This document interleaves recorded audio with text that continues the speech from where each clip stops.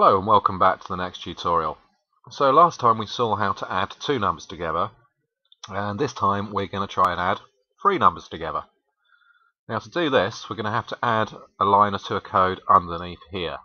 Now what we're going to have to do first is store the result of adding the first two numbers together. So if I go sta num1 it's actually going to store the result of adding the second number and the first number together. And what we can then do, now we've stored it, we can take another input, another number, and we can add the result of the first two additions back on, which I've called num1. So let's see this work. I'm going to assemble it into RAM, and I'm going to run the program. So I'm going to put 2 in, and 2 has been stored in mailbox number 9.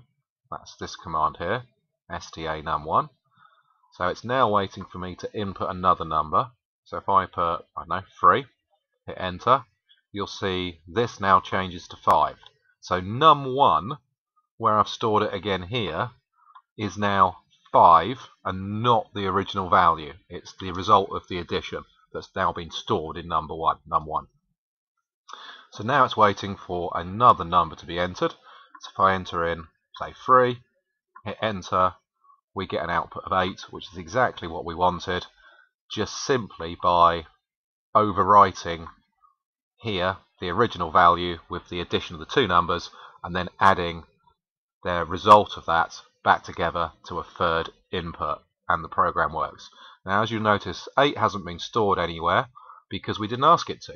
Yeah, Right here we just took an input, we didn't store it, we just added the num1 there which was 5 after doing the first addition onto the top of the frame and we get the result we want.